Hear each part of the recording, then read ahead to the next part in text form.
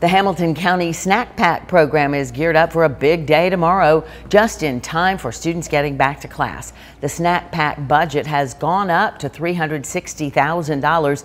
That will come in handy because the program is now serving 26 schools. The goal is to pack nearly 3,000 bags a week for the 2024-25 school year. Founder Janice Robertson says to keep up with the growth, they are now expecting to have a day dedicated to unpacking items.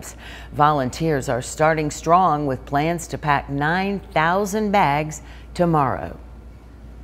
This will be our 11th year, and we started just in a dining room, putting it in little brown bags, and it's grown from that to what it is today. One of our principals always told me what seems like a little to us is a lot to the children, and it's a very true statement.